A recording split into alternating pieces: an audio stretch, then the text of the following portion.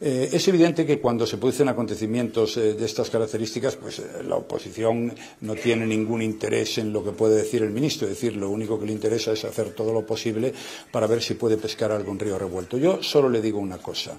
El ministro del Interior es la persona que tiene la responsabilidad, que no es menor, de garantizar los derechos y libertades de los españoles y de garantizar su seguridad